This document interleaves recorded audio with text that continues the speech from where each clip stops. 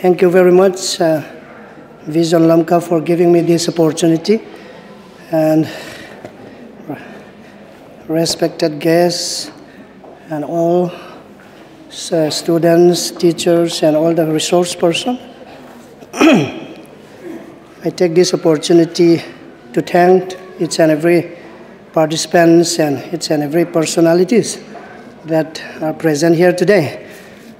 Actually, this topic, which is given to me by the Vision Lamka, uh, frankly speaking, this is going to be my first uh, work on these areas. Actually, I have worked a little bit on uh, livelihood and occupation and other social issues, but on forest, to be precise, this is uh, my first debut. okay, so uh, I should admit that this is going to be not going to be exhaustive study, but a research in progress. So ongoing research progress. Okay, so uh, I would also seek uh, feedback and advice from experts and concerned departments and other uh, participants too. Okay, uh, my topic is uh, afforestation, afforestation response of the hill people. And once I was given this one at the first place, but when I do uh, deep research, I began to realize the difference between afforestation and reforestation. So I talked to Pasroon and then uh, asked, seek his permission to uh, change, not exactly change, to modify as I wish, according to the convenience. So I just make it a slash afforestation, reforestation response of the hill people. And okay, please, next one. And I also give the definition of all these terminologies, uh, deforestation, reforestation, and afforestations. And I don't need to read all this uh, again and again because I hope we all already, we have already understood and learned. Okay, next. Okay, I would like to highlight some facts about forests, even though I'm not for, from forest department. Uh, there are three trillions trees on planet, and uh, before the human civilization, it was double. And the second point could be 10 billion more trees are cut down than planted. So this have already led to a carbon crisis. And tropical rainforest hosts 50% of uh, earth species, terrestrial species, and but uh, tropical rainforest covers only 6% of the uh, world's land. And we know that all trees and natural vegetation acts as carbon sink. Next, please. And here, 1.6 billion people worldwide rely on forests for livelihood. And according to 2015 Paris Agreement, we need 1 trillion tree to reduce the Earth's temperature by 1.5 degrees Celsius. And it is very uh, sad that more than 8,60,000 hectares of all trees of all trees, all growth tropical rainforests have been destroyed annually. Okay, let's directly focus on the forest cover in Manipur and then to Churachandpur. This is uh, the forest cover in legal status, the forest cover of Churachandpur, uh, no, Manipur. Uh, they are divided, classified into the three types. One is reserve forest, protected, and then unclassed. Uh, reserve forest cover only 8.4% of the total forest area in Manipur and protected forest stays 23.9 while, while unclassed is 67.6%. And all the time, the bond of contention arises from this unclassed forest, as we know.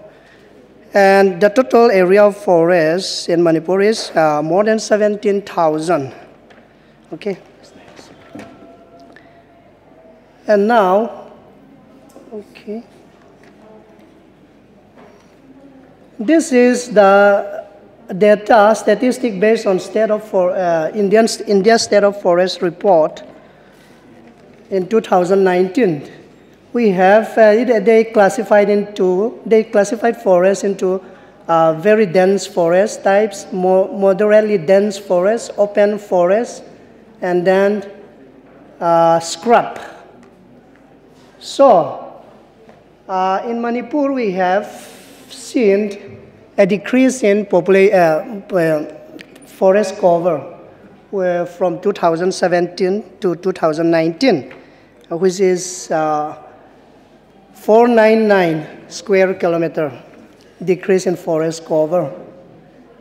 And we can see the district-wise distribution. Uh, let's directly focus on Churachandpur. We get 249.49 decrease in uh, forest cover.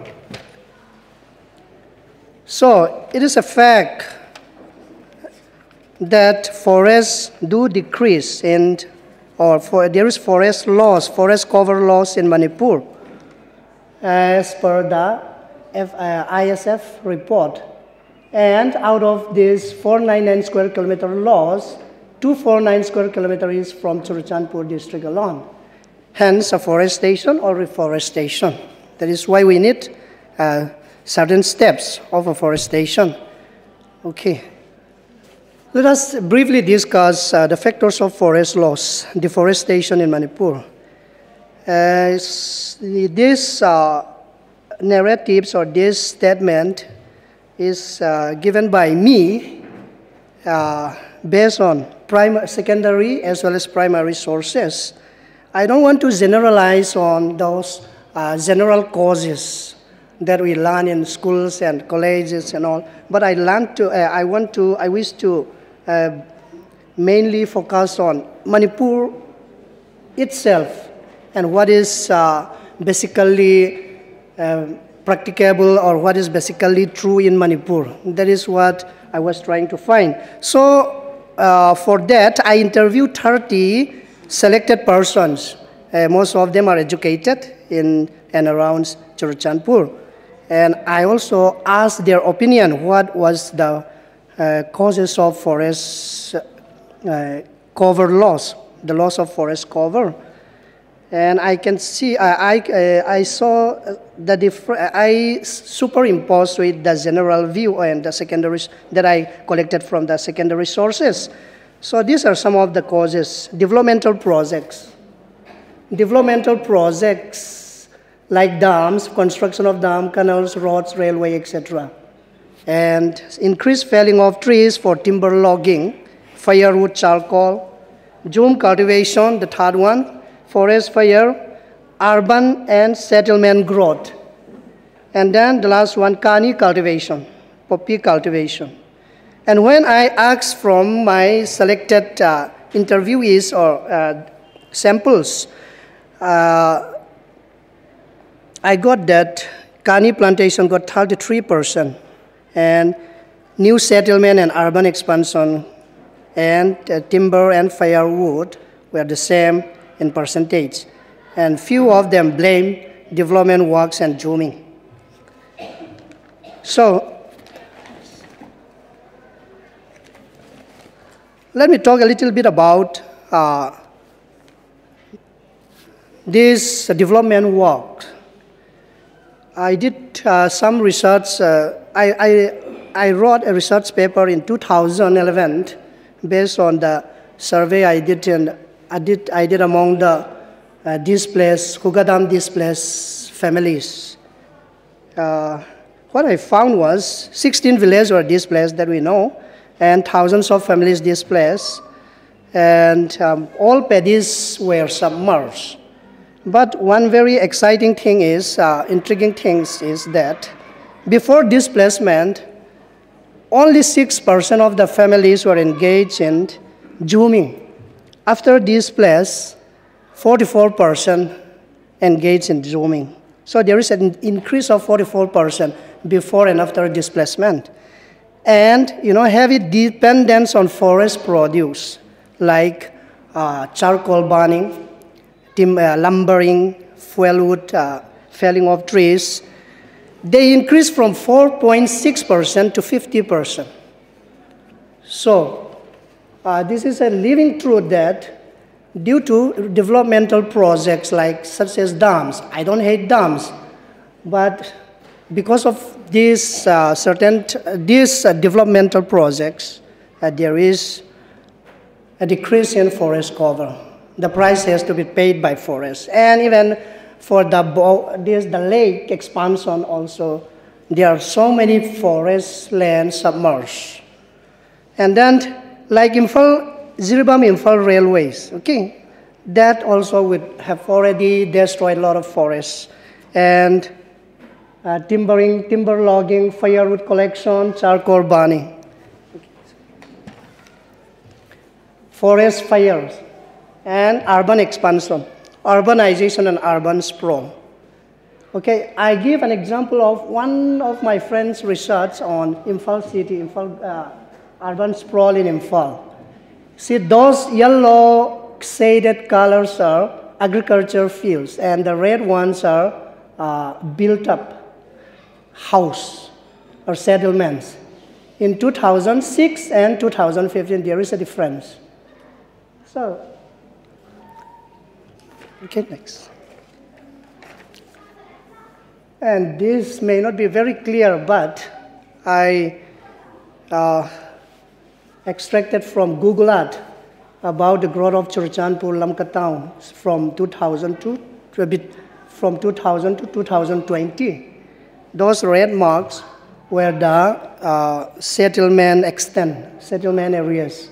That one, the first one is uh, 2000, and then 2005, 2010. Next. And 2015 and to, to 2020. So there is uh, pressure given on the surrounding or peripheral areas and forest cover due to urbanization. And kani cultivations. The uh, bad thing I should say about kani cultivation is uh, the destruction of standing trees and the never returning of the standing trees again. Because the farmers used to uh,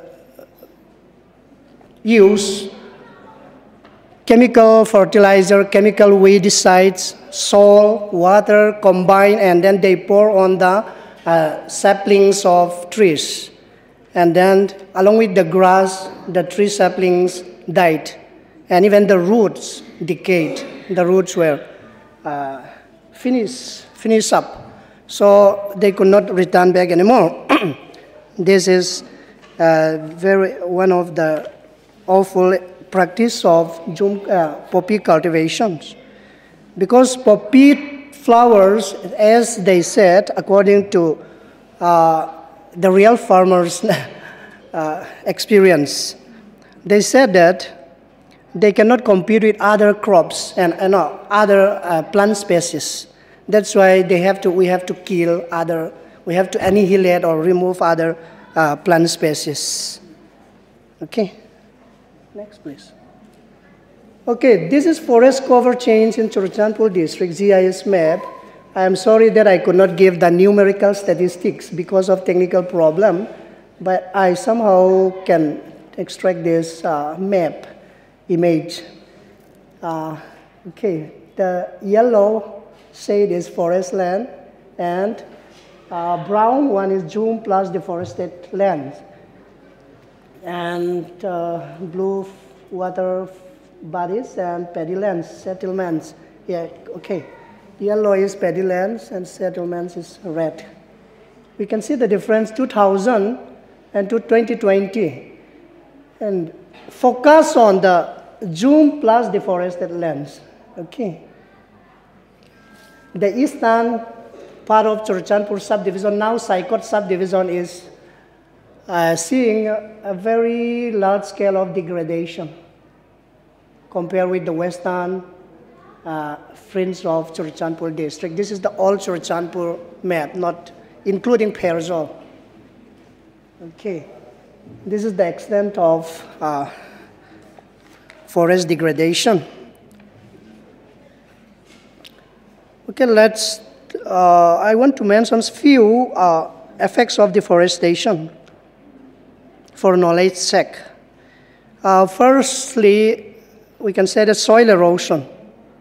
My seniors and my, uh, my colleagues have, have already talked about soil erosion and water supply and the depletion of water sources due to uh, deforestation. We don't have to repeat much. And the second one is uh, habitat biodiversity loss. Okay, before I, before I come to uh, biodiversity loss, I would like to highlight one uh, alarming uh, development that I found in, uh, in related to Khuga Dam. Uh, because of rampant deforestation in the catchment areas, I fear that one day siltation will be too much that the lake of Khuga Dam would be uh, overflooded. And then, uh, given the fact that the canal, both sides are not properly functioning, okay, there will be no chance of releasing of the uh, surplus water. So what could be the impact that is dangerous? and alarming. And when I was young, we used to call this house of Pimual as ghost city because of the thick and dense forest cover. But now, uh, last year, some of my students said that they went for hiking and there was only grasses growing. Okay, and there are so many mythological narrat- uh, mythological stories attached to this Haupi Tangzing uh, mountains uh, because of the, you know, the density of forests, the denseness of forests. But now, sadly, they have been already depleted, uh, destroyed, then they degraded, and now only grass survive. And the resultant impact that we can expect is uh, soil erosion and siltation.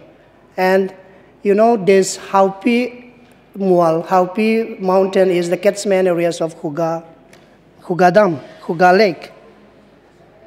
Okay, okay, biodiversity loss, 70% of land, animals, and plant species live in forests. So, entire species could be wiped out when biodiversity, when habitat of wildlife were disturbed, what happened? Man-animal conflict used to occur. Two, three years back, Churachandpur town experienced a very wild uh, incidents. Pigs, okay? Uh, chickens, pigs were, you know, the intestines were taken, they were attacked, and we don't know, we don't really know the cause. Okay, whatever the cause, I think whatever the cause may be, I think this is some kind of sign that we face now as man-animal conflict. Okay. Anyway, increase in greenhouse gas, lack of trees, lack of trees allows greater amount of greenhouse gas that everybody knows because vegetation acts as carbon sink. They absorb carbon dioxide and release oxygen and loss of livelihood for human. Actually, I missed some. Loss of livelihoods for human being. Almost 25% of world population depends on forest and forest products. And about 70% of Manipur population live in rural areas, which uh, clearly states, which clearly signifies that we depend on forest for our livelihood. Loss of forest will be very dear to us. It will be very uh, painful to us. Okay, next. This is the forest, uh, the work done by Forest Department, CCpur. I would like to highlight a little bit about their good deeds, I should say, and the steps taken by them, afforestation, reforestation in CCpur. Under Green India Mission, they planted timber and fruit trees, and CAMPA, okay, timber and fruit trees, National Bamboo Mission, NEC, from NEC Agroforestry in Danudet and tribal sub-plan and state plan, they said that only few received and that two only in uh, reserve forest. Okay, next. So tree plantation at, this is the picture of tree plantation at Munpi Hang Lab and Tuitapi CCpur by the local people under DFO and RFO in 2021. Okay, next please. And this is in Hangkot, CCpur, and Taeyang Gotol and Hang Lab. And Pai Hill one is now beginning to be mature. Next. Okay, now let's see the response of the common people about afforestation. My burden is whether we talk, uh, no matter how much we talk about the importance of afforestation, reforestation. But if the common people does not understand what is all about afforestation and if they don't care about it at all, what will be the use? Okay. That's why I went to uh, meet some villagers who are from here as well as from uh, the remote areas. through phones and through personal interview. And then I asked about what is, all, what is their understanding level of afforestation. So this is what, what they respond to me, what they responded to me. Do you know the meaning of afforestation? And 37% said yes. And the second question, do you think forest cover in our district decreasing? And majority said yes. Okay, and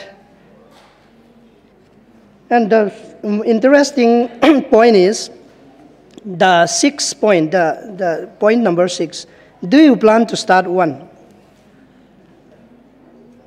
Maximum majority of them said no, 75%. And the reason they give, I don't give in statistics, but in general, they have no lens. They said we, ha we have no lens, and we have no time, and we have no idea how to do it. And they also said they are not interested. Okay. So my general observation, based on all this uh, interaction with uh, some of the indigenous people, I should say, is that only elite groups participate in afforestation and reforestation, like the village chiefs, private individuals, entrepreneurs, uh, entrepreneurs, government job holders, bureaucrats, and politicians take up afforestation. And the common people are just used for labor supply. And they don't get the fruits of afforestation or reforestation. Or the profit or whatever accrued from these activities is not enjoyed by the common uh, people, the Khotaga, okay? And community land questions. When I asked the DFO of CCpur, he said, as he said that we planted, we use only community land, community land for a forestation program or for a reforestation program. But what is meant by community land? In reality, community land is not existing. The land belongs to, all land belongs to, all unclassed land belongs to the chiefs and private individuals, where the common uh, dwellers or the common villagers have no say. So, community land exists only in name. Chiefs have sole ownership and authority. Common villagers don't have the freedom to do whatever they desire with the lands. And fixity of land use. Most farmers are allotted land by the chief for Jhum, and the crop patterns are, crop items are rice and vegetable cultivations, and they have no freedom to switch to other activities like plantation farming. And if they even switch, if they ever switch also, who will supply rice to them? How will they get uh, rice produce? And they have no idea of afforestation. Most people don't have this idea. There is something beyond their concern, capacity, and even social and economic status. And even some private landowners fear the government that it will acquire, slowly acquire their land by way of plantation. This is an, an interview with an interview made by an ex-official foresters with some of the landowners. And they give priority, more priority to their livelihood security than the, you know, the notion of forest cover or green cover. Most farmers are concerned about their livelihood. In their mind, deforestation or reforestation is secondary to them. And sometimes they said that deforestation is a myth because it is an exaggeration. This is what some opinion I got from uh, some people I interact. A normal cycle of doom culture does not cause deforestation. That is what they say. Exactly this is true. Because they left some standing trees, and at least knee-high trees, so that can regenerate again. And question on Kani, it is said that man causes insufficient crop production, loss of productivity in Jum land, and they have no secure job to sustain or improve the standard of their living. And also the craze for quick and handsome returns is also the attraction. And they said that poppy can be practiced side by side with other crops cultivation. I mean, within a year. And poppy does not take much longer time, they said. In a free time, they can do that. This is what uh, the, uh, an opinion that I got from some of uh, uh, some opinion or some uh, ideas on poppy cult culture in our um, districts. And gain from forestry, certain individuals do gain from afforestation. This is one good result that I found with my interview, uh, uh, from my interview with a retail forest official. And like, for example, Hyangdung chief got uh, some income, a good deal of income. Tanglian chief, Bualian chief, few individuals from Singat and others accrued good incomes from forest product. This is based on interview with a retired forest official. Okay, some of the suggested measures I choose are, uh, firstly, we have to accept the fact that deforestation is taking place in Manipur and also in CCpur district. That is official report. But there is no cause for panic, I should say, because uh, except that the catchment areas of water sources are in dangerous position, the proportion of forest covers is still in a healthy position, about 75 percent while the national level is only 25%. And except changes in land use pattern. Okay, because of land use pattern like urbanization, uh, forest, pressure could be given to forests, but that is nature, a natural cause of modernization. So we have to accept that also. And infrastructure development activities has to take place. We cannot blame those things and in the love, in a uh, in, in, you know, uh, in a care for forests so much that we have to stop infrastructure development program. That is not a good idea. So measures could be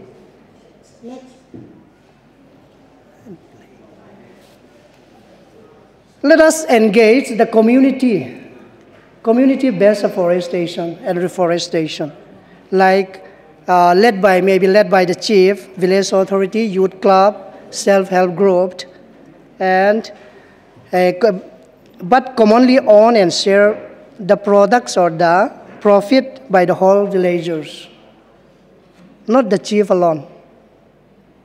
Okay? And the second one is traditional village forest reserve or traditional village forest reserve that we used to have during since our forefathers' time. That is Meilam. In Mizoram, they said Waimea Reserve.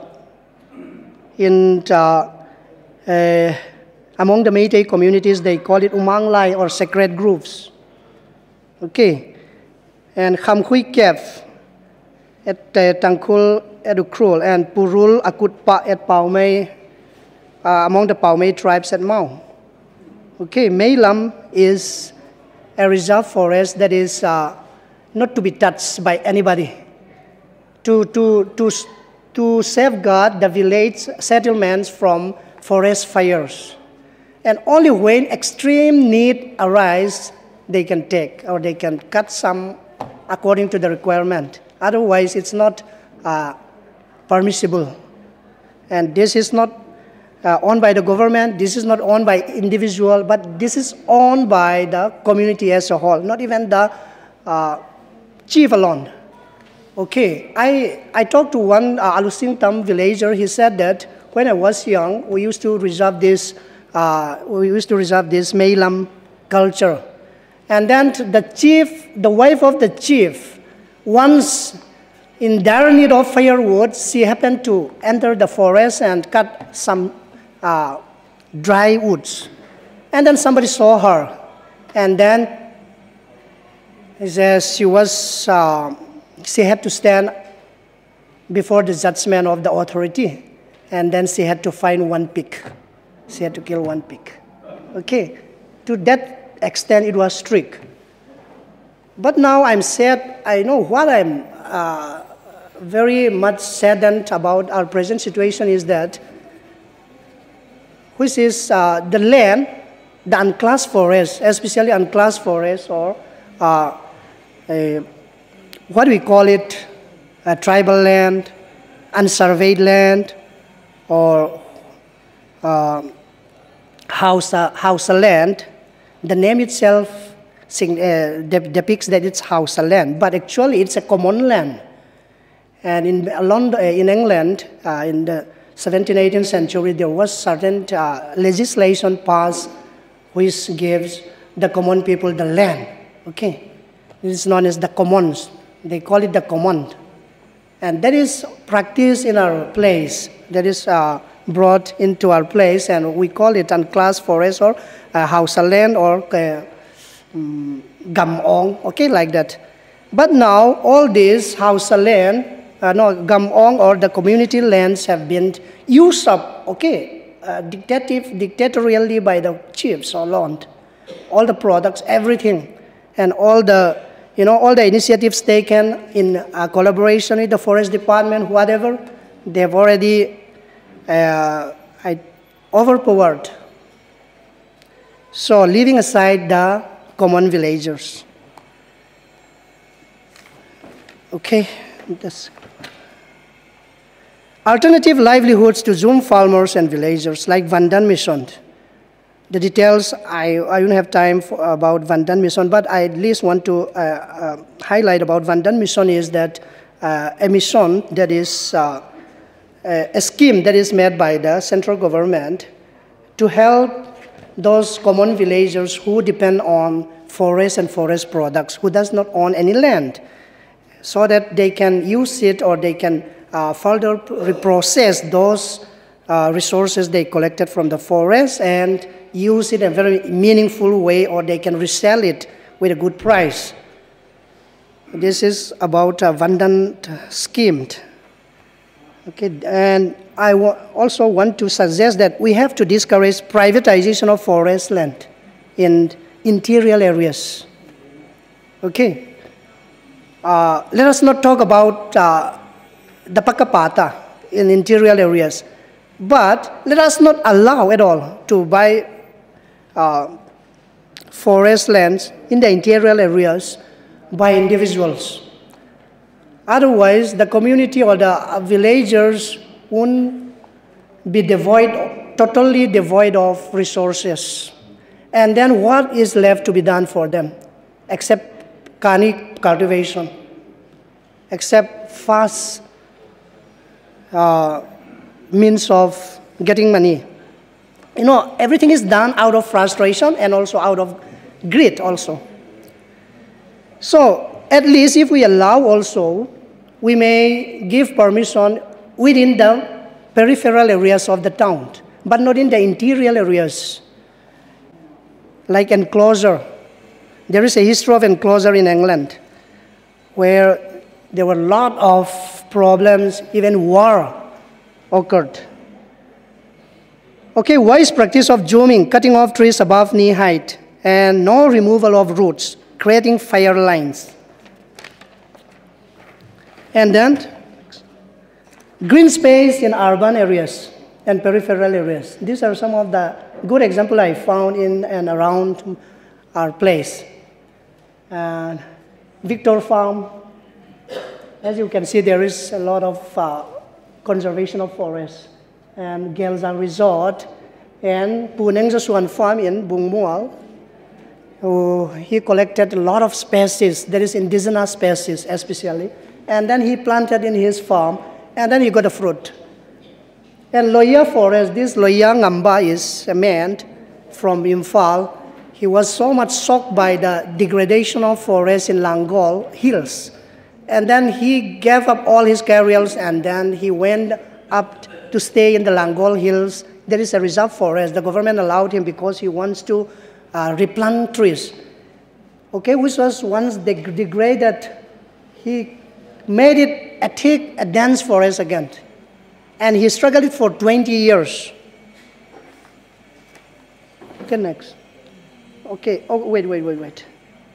Uh, plant replacement for every tree cut down, okay, organized mass plantation, okay, all this. We, next, next.